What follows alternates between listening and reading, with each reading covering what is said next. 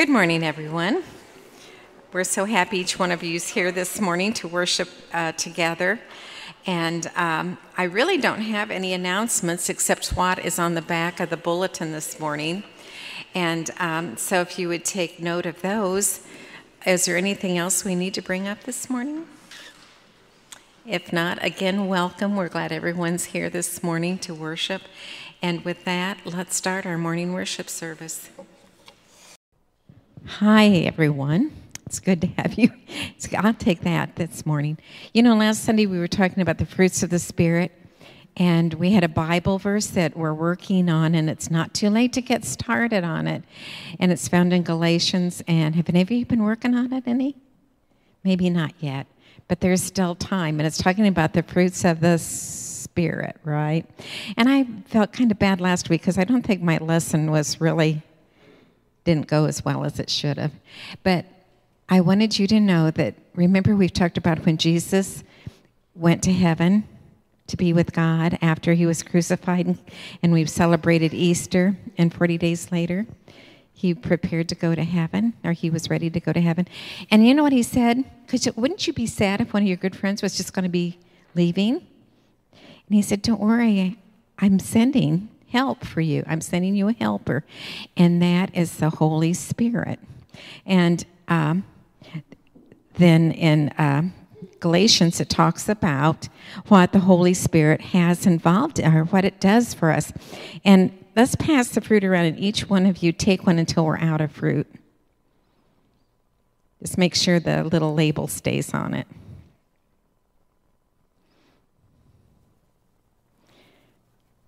Because it talks about the fruits of the Spirit.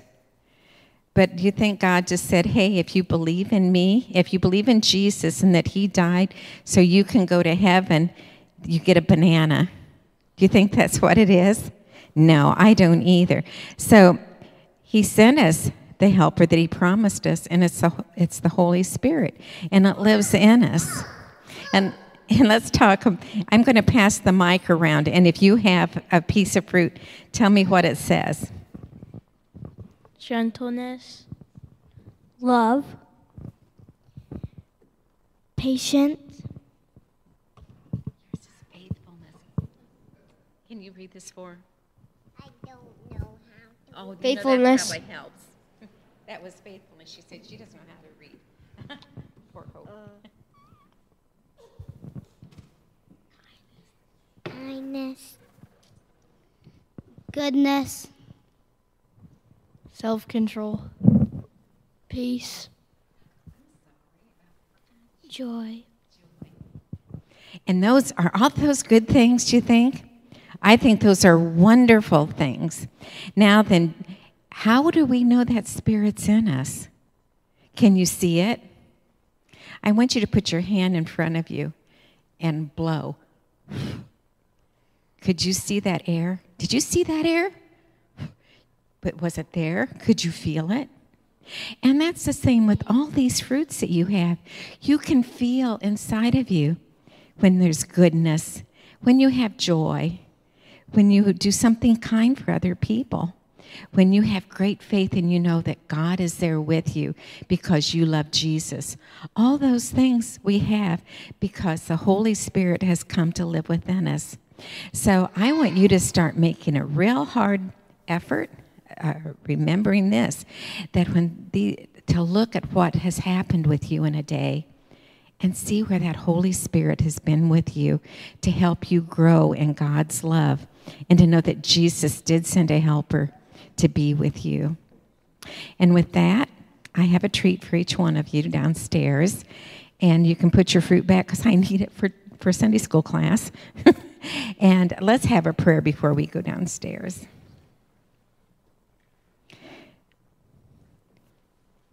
Thank you so much, Sawyer. Okay, let's have a prayer this morning.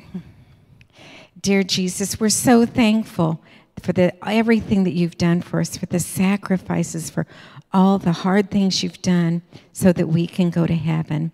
Please help us to be brave in asking you to help to be with us every day, to be in for you to be in our heart. And we thank you so much for spe- sending this special help for us through your Holy Spirit. Help us remember to look for it and to thank you for the, for the love and support that you send us. All this we ask in Jesus' name. Amen. So Joel Joel sent me that video midweek that he played at the beginning. And I will admit I was in my car driving to work when I watched it. Shouldn't have been, but I was. And uh, I think I was in tears by the time I got to school.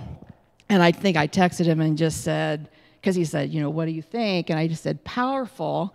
And I kind of joked, you know, thanks for starting my day off with some tears and emotion. Um, I think it's really easy in our chaotic day to day life to get very kind of lost, maybe a little bit, and forget how powerful and awesome and majestic our God is. And I was just reminded through that video that God is universal, that He not only has us in the palm of His hands, He has the whole world in the palm of His hands, He has all time in the palm of His hands. And so, we're going to sing that song together. It's one I think that we know well. I don't care if you don't think you have a good singing voice. Um, God deserves your praise from the depth of your soul. So just sing loud together, and He's going to hear us this morning. Splendor of the King, clothed in majesty, let all the earth rejoice, all the earth rejoice. 'Cause he wraps himself in light, and darkness tries to hide, and trembles at his voice, trembles at his voice.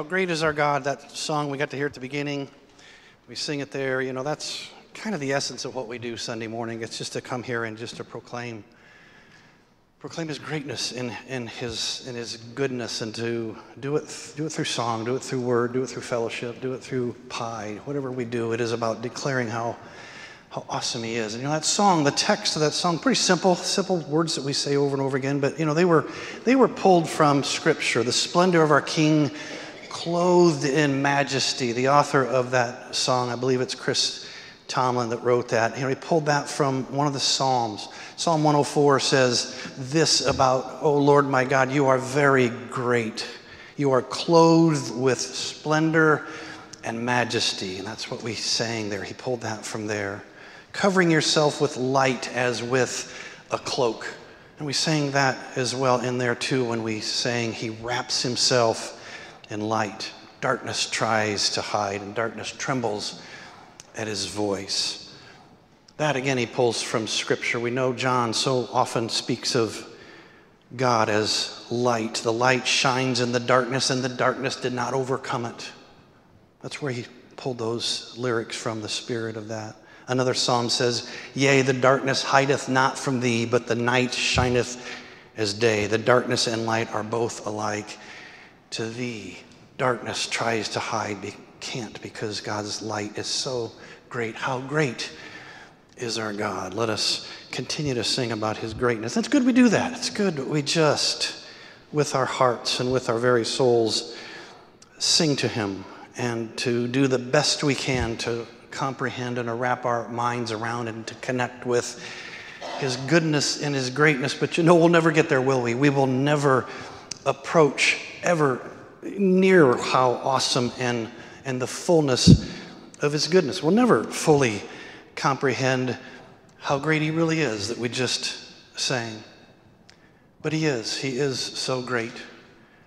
And with that, and who we are, comes this conundrum, this predicament that we, that we are in. God is perfect light, He's perfect truth, He's perfectly holy, and we do not have that same purity, that same light, that same goodness, the same qualities to be in His presence. We lack the necessary credentials to be in the presence of that great goodness that we that we sing about because we have this born in thing about us and it's an unrighteousness about us that precludes us from Him. And that's the predicament. That's the, that's the predicament that we're in. There is a righteousness that is required, a righteousness. You know, we've been talking a little bit about Paul's message for the church then, and the message for us as, as well, that we as followers of Christ are to put on this full armor, this full armor of, of God. And we're going through each piece of the of the armory that, that Paul talks about here and to look at our and to look at our walk. Remember, remember what's going on here. Paul says, you know, there's going to be some stuff that's going to happen. It's not all going to be unicorns and rainbows with your walk with Christ because the world is going to come after you. The cosmic forces of darkness, he says, this evil that is around you is going to come and attack your very essence, your very being, the very relationship that you has. He says, so rise up.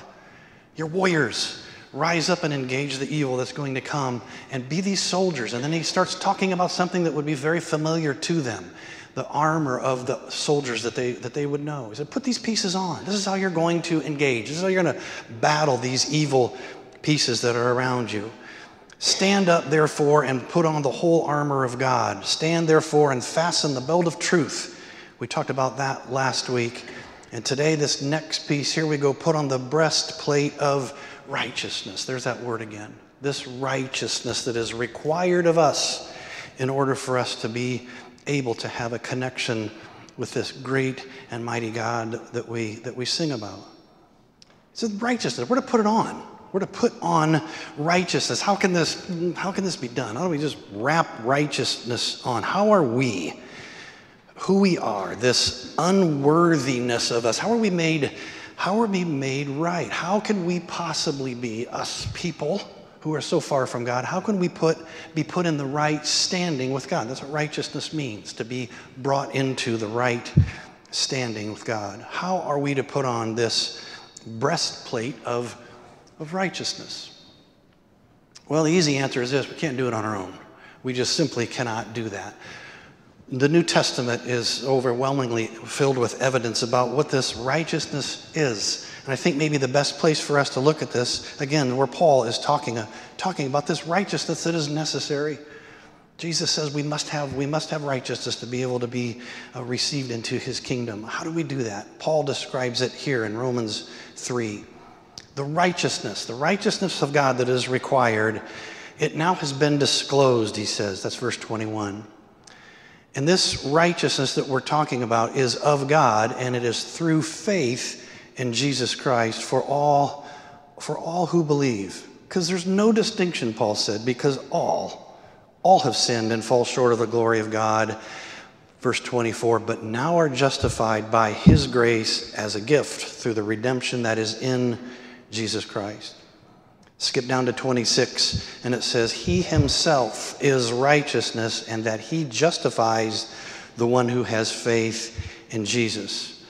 For we hold that a person is justified, made right, put in right standing, one who has righteousness. That happens by faith, apart from any works that is prescribed by the law. So, this righteousness that is required for us to connect with God. This righteousness that Paul tells us to put on to help us with the battle of life, the battle against the evil forces that are around us, it's given.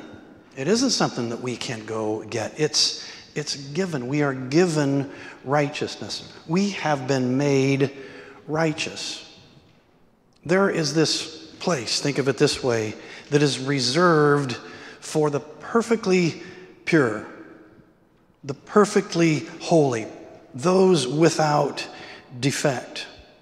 And there's nothing in them, in their past, in their present, or their future, that can keep them from this perfect place. That's what righteousness is going to do for us. I was trying to think about an analogy for this, and, and uh, some of the time I spend in sermon preparation is kind of ridiculous. You know, I go down these rabbit trails, and it's just ridiculous. This one was Cinderella and you know how many Cinderella versions there are? Oh my gosh. You know, you had the cartoon thing, but then there's, what was that, Lesley Ann Warren? Is that right? And she was in one, and then before her was um, Julie Andrews. And so I'm down, Carla comes down a couple times. Why are you watching Cinderella movies? You know.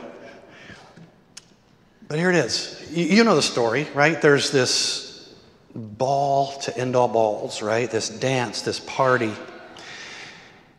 It is this awesome place where people are to be, where the in crowd is. It's, it's the elite. Those are the ones that get to go to this. So imagine that picture. We know, we know the fairy tale story, don't we? But take that and multiply it by a billion, okay, just to get a, an understanding about what God's kingdom is. It's way more than Cinderella's ball, but we can begin to get the picture. We get to get the picture there. And then there's poor Cinderella no connections, no dress, no way to get there, and really no right to be there. That's us. That's Cinder Joel, right? That's us because we have no way to be included into God's into God's kingdom.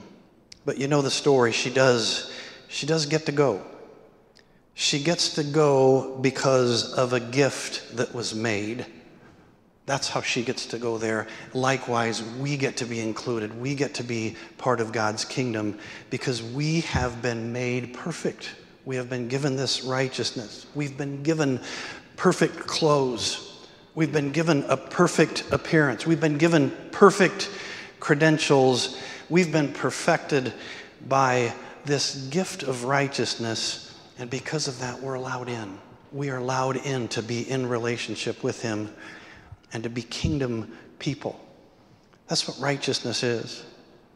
And so I think, first and foremost, maybe, maybe one of the things that we need to just pause here for a moment is when we're told to put on the breastplate, the breastplate of righteousness, we need to stop and pause and just be overwhelmed with thankfulness and gratitude because of this gift we've been given this invitation we've been given the carriage, the clothes, the credentials, the entrance to the ball of all balls, which is God's kingdom, this perfect paradise, to be in the presence of God Almighty forever is a gift.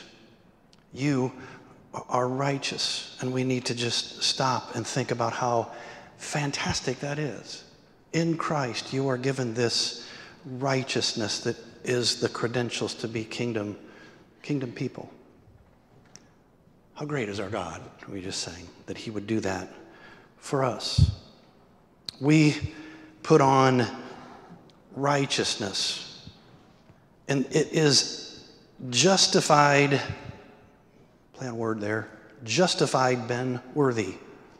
It's justified had the credentials on my own. It's justified never sinned in my past, in my present, or the future, which would keep him from me.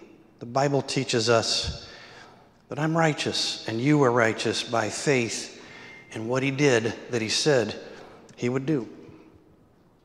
So when we put on this righteousness, one of the things that we we need to do is we need to be as one who belongs in the kingdom. Because we do. And there should be a level of confidence about our very essence that we have been made righteous. We are to be, we are to speak, we are to act, we are to relate as one who is right with the Almighty. Because we are. Because we've been made, we've been made righteous. That's a magnitude we'll never fully get. But I think once we see this again and we hear God's word again and we see what that really means, we need to pause and let that just sink deep into our very, our very essence that you have right standing with God because you, you are righteous. Not by your work, but by faith in His. What's our role in righteousness? Who receives it and how, how is it maintained? Well, this is an area of our Christian faith where people diverge. Some say that righteousness is available only to those who God has predetermined, who He we already knew. Others say it was available to all people and God gives people to freely receive it or, or reject it. Some say that that righteousness, the once you attain it, can never be lost. Others say that if you continue in your rebellion and your rejection, you can lose this awesome gift of righteousness. Some will say no one has the ability to even choose it. Other believes, others believe that God gives people free will to choose it. Some believe that your righteousness will be perfected here, here and now. You will attain a perfect righteousness while you are a human being on this earth. Other believes that your righteousness is not perfected until you die and you're in heaven or Jesus returns, whichever comes first. Lots of different ideas on this theology, and over the centuries, that it caused a lot of debate and a lot of church splits and a lot of fights. So don't think that this guy's got any scholarly ability to be able to pinpoint, you know, which one of those things are right. We'll just continue teaching in the traditions of our church and our understanding of how we see how we see this play out. What is what is our role? Scripture does tell us this that this righteousness, this breastplate that we are to put on, it comes as a gift, as we just talked about, but it's also by faith. This righteousness that is of God, but comes by faith. That means there is a part in there for us, and it is faith. What is our role then in this in regards to faith? What is our role regarding righteousness in terms of faith? By faith, you are made righteous and you have the right to put that breastplate on, but it's not complete there. There is an incompleteness to that just there because there is another part of our faith, and it's an acting part. It's our response to that which has already been done. God's made you righteous, so what, what, are, you, what are we doing about it? Think about some of these passages that support this notion. Remember, remember James, this is one that's kind of a kind of a tough one. James is talking about faith and works because there was battles between you know what you do and what, what you believe. And, J- and James says this if you say you have faith but do not have works, can that kind of faith save you? And he goes on, and in the end, he says, So faith by itself, if it has no works, if there's no response, it's dead. Remember that passage? That means there's another aspect to our faith, more than just mentally saying that I agree to something, but the faith is an acting kind of thing, it's a responsive kind of thing, and there is a work that comes out of that. I think I told you one of my, my favorite Bible passages, and I, I put that, I customize it on my golf balls. Did I tell you this? Hebrews 10 14 is my favorite Bible passage. Side note, I've been doing a lot of evangelizing on the golf course the last several weeks because I'm spraying golf balls all over the place. And so I know guys are finding these things. Oh, what's Hebrews 10 14? And they're looking it up. Hopefully, you know, hopefully we're getting some souls. One to, no, I think they know that Yeager lost another ball. He's got to get that nasty fade out of his bag because it's terrible. But, but that passage, I think why it is my passage, my favorite passage, is because it, it, it, it talks right to this point about the two sides of our faith. And that passage says this For by one sacrifice, when Christ died on the cross, by that one sacrifice, he has made perfect forever. Done. When we trust in Christ, he has made perfect forever. What does that mean? He's made me righteous. Done forever. But then the verse goes on to says, He has made perfect forever those who are being made holy. See the difference in verb tenses there? Made perfect, done complete, those who are being made holy. There is this ongoing thing that there's something changes, being made holy. You are being sanctified. There is an act of this faith that we receive the goodness and we are perfected, but yet there's a transformative process that's revealed in that verse that we are becoming like Him. We're being, we're being transformed. Similarly, as, as we talk about what, what this righteousness does, here's another passage that challenges the early church. It says, Present yourselves to God as those who have been brought from death to life, and present your members to God as instruments of righteousness. I like that passage there too, because that's saying, do some work. Respond to this very fact that you have been changed from dead Joel to live Joel. How? Through that, act in and, response and present your members as instruments of righteousness. Let, let your very self reflect this righteousness that you've been given. So we've been given this, this role to play in this righteousness that we've been given. It's our actions that respond to this awesome gift that this great God has done for us. So think about the breastplate, you know, think of the literal aspect of that. What, what does it do? Well, it's a very defensive thing, isn't it? Obviously, it's put there on the chest to protect, to protect the vital organs, protect, protect the heart, protect the lungs, protect all the other organs that are there. Sometimes they went down even lower into the abdomen to, to, to protect what the other organs that are, that are lower. It guards the vital organs of the body. Why? To protect life. The breastplate is given to the soldier to protect his physical life. But when Paul talks about this spiritual breastplate of righteousness that we put on, that safeguards our eternal life, our spiritual life. It safeguards real life. It guard, guards and, and it saves life. How? Because we've been, we've been made righteous. We've been given those perfect credentials, and we're now able to enter into this perfect, perfected kingdom, and that can never be taken away. Your life is protected because of this breastplate of righteousness that you put on. You are positionally made right. Your position is good. When you receive Christ as your Lord and Savior, you're righteous. You're legally just, and your position is good. How great is our God! And then as we wear that breastplate, we start to experience the other side of the, of the breastplate. It's not so much the positional one, but the progressive one. It's the progressive aspect of righteousness. We start to develop a purity about us when we're living in that righteousness.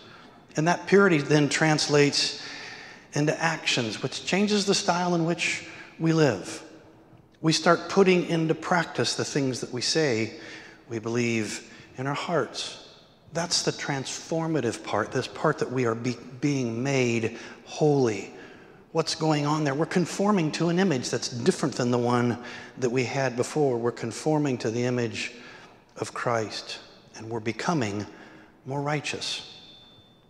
The choices that we are making that are in line with the righteousness that He's given us, it adds more protection to us. It protects us from temptations and from deceptions and from all those forces that, of evil that Paul, Paul said we would have.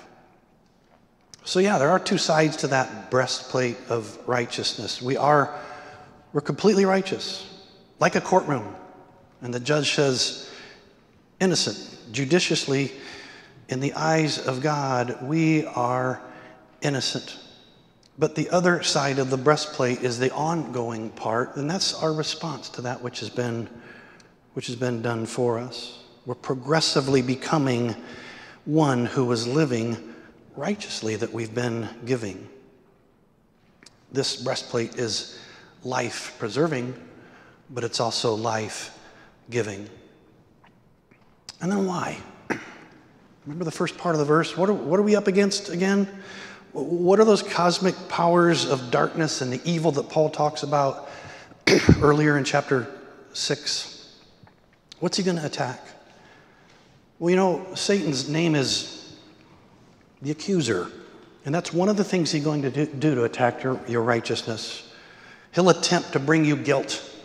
He will throw guilt and shame, and he'll bring up memories of past mistakes and sins that you've done. Why? So that you begin to start feeling unworthy of that righteousness that you've been, you've been given. But never, never let that happen.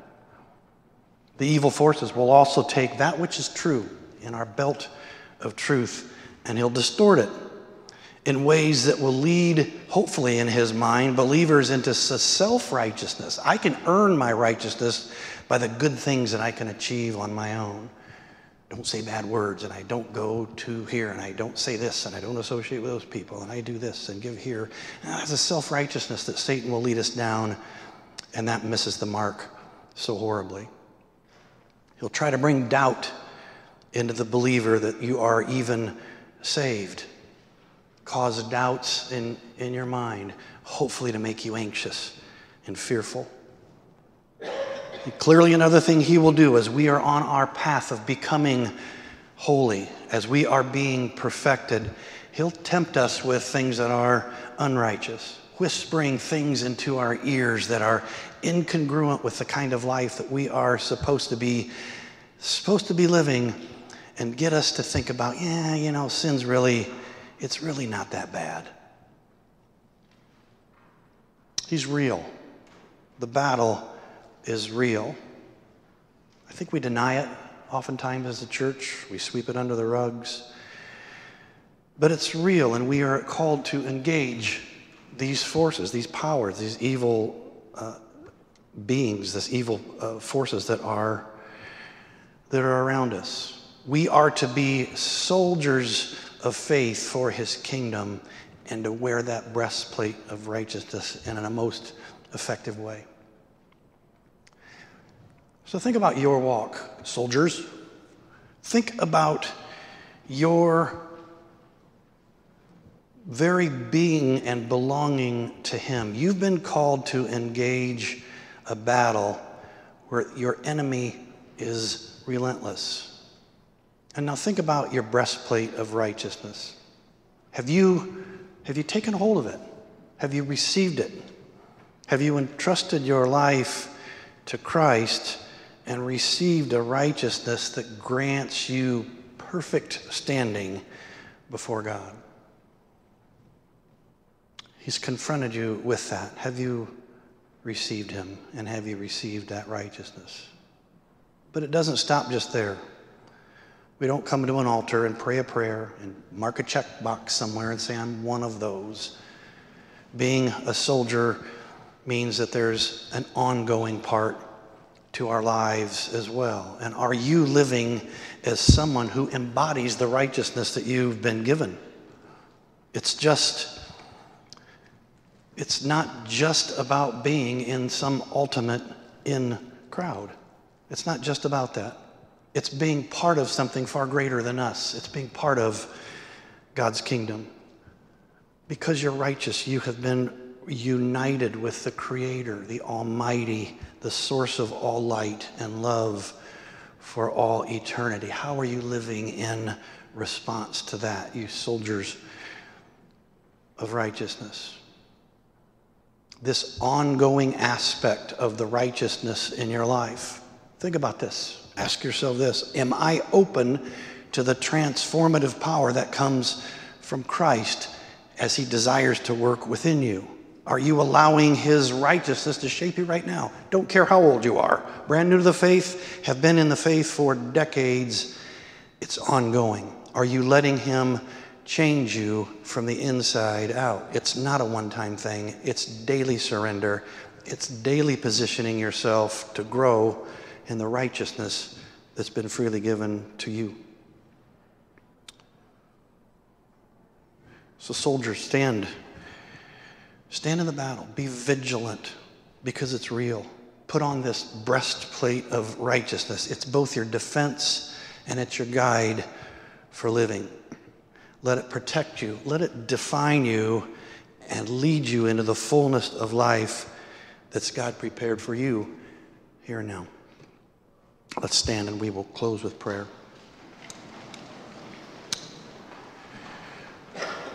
Father, as we leave here as people encountering your word and challenged to change lives, to live more like you, I pray that our souls would just continue to sing of how, how great you are in Christ. Amen.